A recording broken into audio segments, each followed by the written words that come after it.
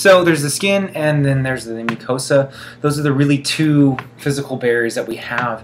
And I wanted to, to take some time to divulge and talk about each and every one of them. First things first, I'll discuss the skin in blue. So both your skin and your mucosal tissue have lots of normal, healthy bacteria, sometimes called normal flora or microbiota, whatever you want to call it. They're all the same thing. And what this is, is this is good bacteria and uh, symbiotic yeast and other protozoans that are good and competition for pathogenic ones. They keep the pathogenic bacteria in check. Not just in terms of resources, but it's in terms of selective competition. Um, the other thing that the skin has that uh, helps it really good from protecting us from other foreign invaders and pathogens is that it is a very acidic compound. Um, I just now realized this, but apparently face lotion and hand lotion and body lotion are actually three different things. I'm a guy, so give me a break. Uh, but the reason that you do that is because the pH is supposedly different on your face than it is on your arms or something. And so uh, acidity can be anywhere between, I've heard four to five, but either way, that's really good at inhibiting bacterial growth. The thing that we have on our skin that protects us, it'd be uh, something called sebum. And this is just a fancy scientific word for just saying oils. Um, if your skin is oily, um, this uh, can actually protect us from pathogens. Um, I'm not really a big fan of cleaning things with alcohol if you have an infection in your skin because alcohol will dehydrate. Uh, it's a dehydrant. It'll absorb all the oils from your skin. So sebum um, containing both oils, lipids, and uh, I'll just draw it down here. Specifically fatty acids are good at destroying and disrupting uh, bacterial growth. Another thing that you'll see on skin that we have that protects us is our sweat. What are the two constituents of sweat? Well, we have salt um, I don't know if you've ever noticed this, but salt is not good uh, for bacterial growth. It's good at inhibiting them. That's why you put salt in water if you have a sore throat, which I've been doing lately today because I have had a sore throat. But it also contains something called dermcidins. I don't know how well you can see that. I'm going to go ahead and just circle it here if I can. So if it ends in IN, you know that it's a protein, and this is an antimicrobial protein that's found in sweat. And the next thing, I will I'll do this in purple or magenta, whatever color you want to imagine it. But I should have done this, I'll just go ahead and draw it like this to encompass the normal flora too. This is These are things that they kind of have in common. Obviously there's not going to be acidic contents of your mucosa or of your uh, sebum in your mucosa, but, but both the skin and the mucosa contain um, certain antimicrobial proteins called defensins. Ends in an IN, you know it's a protein. These are um, proteins that rupture the membranes of pathogens. And then the other one that they have is uh, called lactoferrin. The word fer, like ferrous, meaning iron. So uh, I'll just go ahead and draw what each and every one of these do over here. So lactoferrin blocks iron metabolism in pathogens. So if uh, you've ever had a really bad stomach ache, one of the things that you'll do if you have a stomach ache is to go on a clear liquid diet. That's a really good way to, to clear up whatever it is bug that's bothering you. And the reason that that works is because if you're really essentially doing nothing but drinking broth or uh, uh, Gatorade and you're not eating actual meat particularly, you're not getting iron in your body, and iron is a, one of the most important cations for all biological systems to react. And, and you can conserve yours, but pathogens and bacteria, specifically in your intestine, can't live long without them.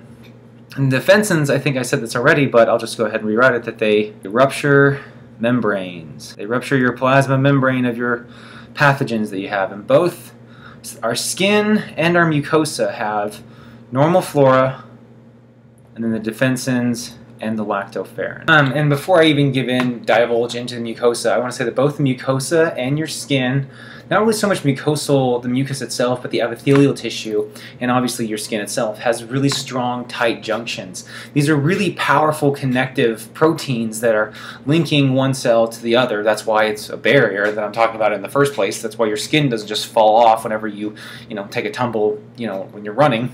Not that that's ever happened to me, but uh, these tight junctions are so powerful that the only really way the pathogen can get through them is to damage the tissue itself.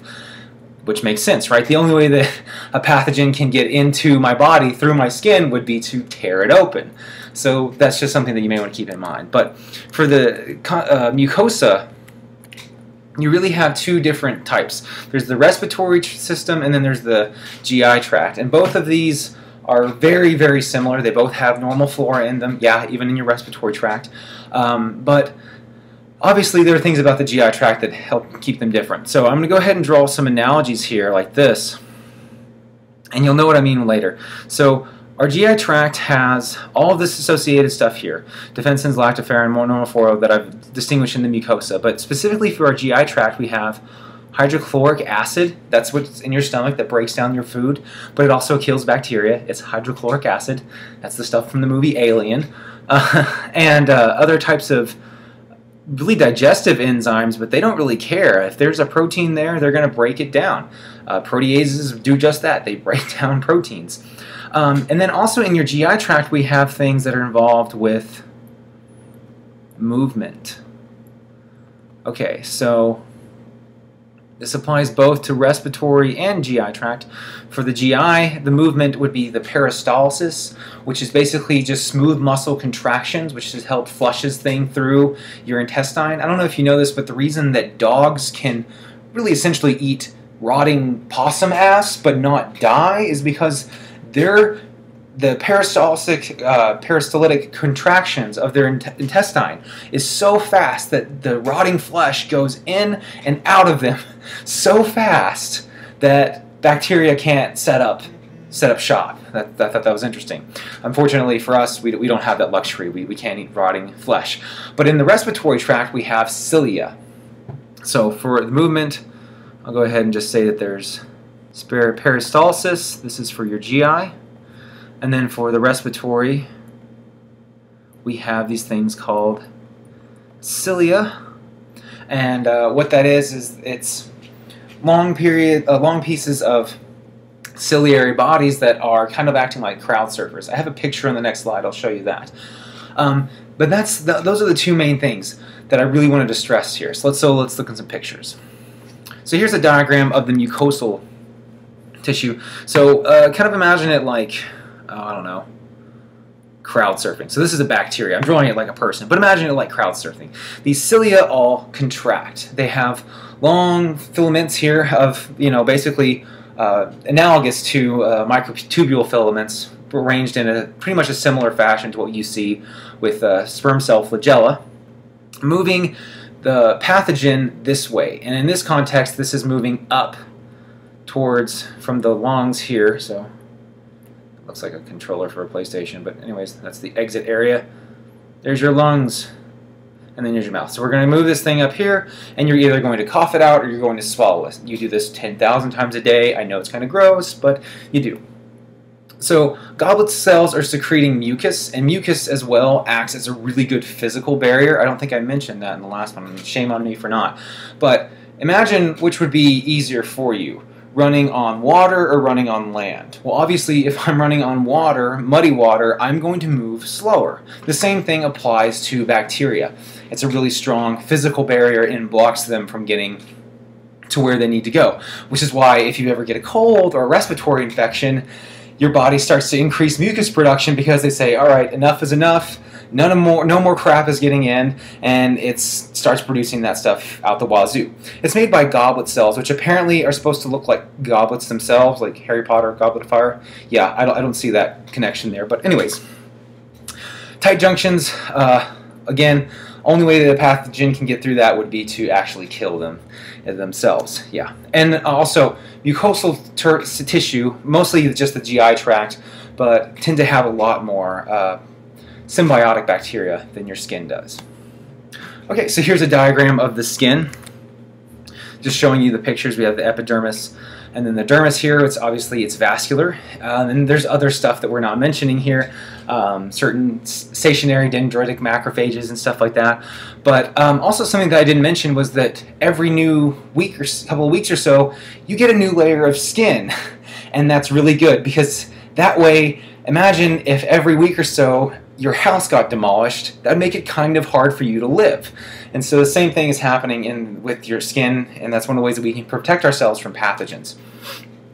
Um, and then there's a lot of symbiotic yeast here. Uh, keratinized dead cells are pretty strong. There's really nothing in them that they can eat. They're essentially just bags of, of keratin. Again, tight junctions, and the only way that they can get through would be to, uh, really, would be to, to, tear through the tissue. Uh, sebaceous glands secreting to toxic fatty acids, and our sweat glands secreting uh, sodium chloride, and I didn't mention lysozyme either. So lysozyme is something that uh, is an enzyme, and I'll go ahead and discuss it up here, found in both the sweat and in your saliva. There's a lot of stuff in your saliva that we'll start talking about when we talk about uh, the adaptive and immune system. There's actually antibodies in your saliva. But in your sweat and your saliva, there's this enzyme called lysozyme. And what this does is this breaks, that's what the word lyse means, to break, like Lysol the cell wall bacteria, that peptidoglycan. That's one of the things that they're going to go after and they're going to break it down. So, a dog's mouth is actually cleaner than a human's. Why? Because they have more lysozyme and antibodies, but I'm not talking about that because that's an adaptive immune trait. But they have more and more lysozyme in their saliva per fluid ounce than I do. Kind of gross when you think about it, but that actually is true.